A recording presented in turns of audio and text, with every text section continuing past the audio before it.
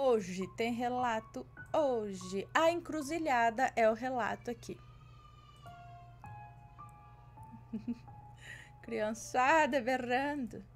Vamos lá, a encruzilhada. Vamos ver do que se trata. Depois eu tinha que separar mais alguns aqui, né? Hoje eu não consegui separar uns aqui para eu contar, mas vamos lá.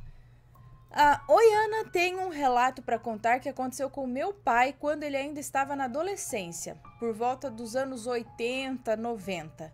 Eu sou de Brasília e esse relato que vou contar aconteceu em uma cidade satélite de Brasília, Valparaíso de Goiás.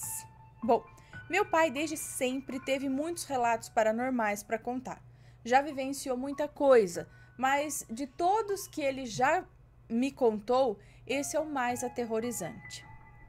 Numa noite normal, ele havia saído com os amigos dele, todos em grupo, alguns com casais, outros sozinhos, só com amigos, bem coisa de adolescente. Os grupos estavam em carros diferentes, por ser bastante gente, todos seguindo um ao outro.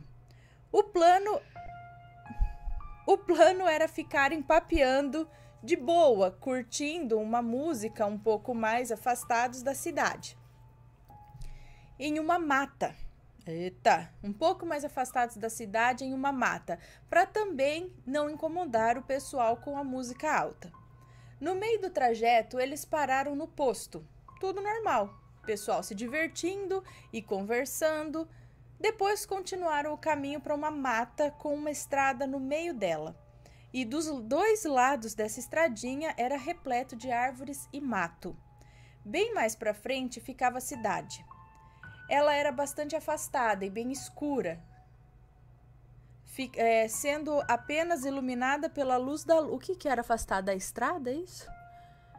é, era bem afastada e bem escura, sendo apenas iluminada pela luz da lua e pelos postes da rua, que estavam bem longe, lá do outro lado. Mas acharam tudo bem, até porque o nível de criminalidade ali era pequeno na época, nada para se preocupar muito como hoje em dia. No meio desse caminho, quase chegando no lugar onde acharam melhor ficar, meu pai viu em uma encruzilhada, no meio da estradinha dessa mata, uma oferenda. Nela tinha velas, bebidas e uma galinha preta morta. Lógico que o meu pai achou aquilo muito estranho, mas não queria acabar com a graça do pessoal, afinal, eles já estavam chegando no lugar onde iria acontecer a festa. Não queria ser o chatão do rolê, né? Porém, o plano estava saindo muito bem apesar disso. O pessoal estacionou os carros bem para o fim da mata, com a parte de trás dos carros virado para aquela encruzilhada. E como um dos carros era uma caminhonete, havia gente em cima da caçamba. Logo, acabou que todos ficaram de costas para a estradinha onde havia encruzilhada. Ligaram música, pegaram as bebidas e ficaram por ali, curtindo o momento. Totalmente distraídos com qualquer coisa que estivesse acontecendo ali por perto. Meu pai provavelmente foi o único que ficou alerta por ali. Depois de ter visto o que tinha naquela encruzilhada, ele começou a desconfiar de tudo. Começou a reparar na mata, de como aquilo estava muito afastado, de como parecia que a cada segundo ficava tudo mais escuro por ali. Mas continuava curtindo a festa do mesmo jeito. Dançava e dava uma olhada para trás, conversava com alguém e dava mais uma olhada tentando disfarçar ao máximo. Até que em um desses momentos de observação, ele conseguiu avistar uma silhueta, bem lá de longe, caminhando perto da encruzilhada, mas não era bem certeza. Ele estava tentando forçar ao máximo a vista e a cada momento em que a silhueta se aproximava lentamente, ele ficava ainda mais em dúvida. Até que começou a notar que não tinha nada de normal ali não. Então resolveu chamar o amigo dele, que também estava virado de costas para a estrada. Ficou cutucando ele sem palavras, porque estava começando a entender o que era aquilo, mas ainda assim não alarmou o pessoal. Foi disfarçando cutucar o amigo.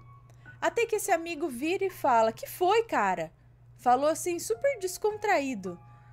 A música estava alta e ele disse alto e totalmente num tom de palhaçada ali da festa.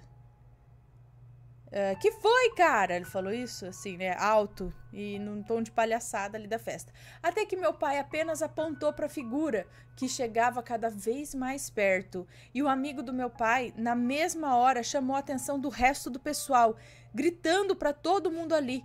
Quando todos se viraram para a figura, conseguiram perceber que era uma mulher com um vestido longo e branco que ia até o chão. Mas essa mulher passava a impressão de não estar andando, e sim que estava flutuando, pelo movimento leve que o vestido fazia. E o jeito como ela se movia bem levemente, dava para notar isso. O pessoal desligou o som, alguns começaram a gritar, outros ficaram sem reação. Dava para escutar gente orando ali, pois conseguiram notar que a mulher não tinha rosto, ela usava um tipo de véu e existia um completo vão atrás do véu. A impressão era de um vestido longo e branco flutuando, apenas isso. Gente chorando, gritando, orando, paralisados, tudo de um tipo. Tudo de um tipo diferente. Hã? Cada um fazendo uma coisa, era isso. Mas até que uma voz de trás do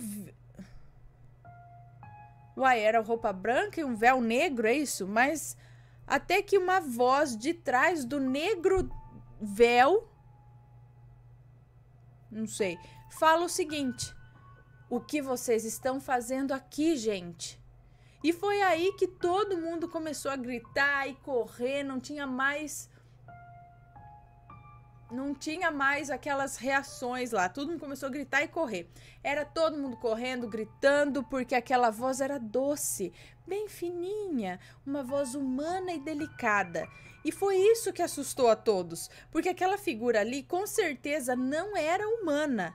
Era mais do que bizarra. E daí sai uma voz feminina, bem doce, fazendo uma pergunta como gente normal, deixando tudo bem mais bizarro. Na mesma hora entraram para os carros, ainda com receio, porque se corressem teriam que passar pela estrada onde estava a mulher, e se fossem com o carro teriam que passar ali de qualquer jeito também. O pessoal, no momento da gritaria e sem saber para onde correr, até porque não tinha outro caminho a não ser a direção da entidade, começaram a jogar pedras nela. Só que, para o maior pavor de todos, as pedras passavam direto por ela. Isso só aumentou ainda mais o desespero a ponto de ter pessoas que chegou a passar mal ali. é, teve gente que passou mal. Até que essa mulher que estava parada olhando o pavor e a gritaria de todo mundo simplesmente virou de volta para a estrada e no momento em que atacaram e no momento virou para a estrada no momento que tacaram as pedras e continuou flutuando em uma velocidade bem maior de antes, a caminho da encruzilhada, até que ela desapareceu, ali mesmo, na encruzilhada, onde estava a oferenda. Todo mundo acelerou com os carros, aproveitando que ela tinha sumido, morrendo de medo dessa mulher, é, dessa mulher aparecer na estrada de novo. E nisso o pessoal mais religioso gritando os maiores pecados e se desculpando a Deus ali dentro dos carros no meio da reza, mas ninguém ligava mais, só pensavam em sair dali logo. Meu pai até hoje tem amizade com a maioria do pessoal que estava presente naquele dia, inclusive com o amigo que chamou atenção para ver a mesma coisa que ele estava vendo. E diz que até hoje em dia se arrepia em pensar na imagem e na bizarra voz doce daquela mulher de novo. Eu, hein? E o relato termina aqui. Ah, vai. Então, ali devia estar, tá, né? Devia ser algum lugar meio que sagrado, ou que tinha alguma coisa, o pessoal foi fazer festa ali. Acho que não deu muito certo, né? Não deu muito certo. Deixa eu anotar aqui que eu contei.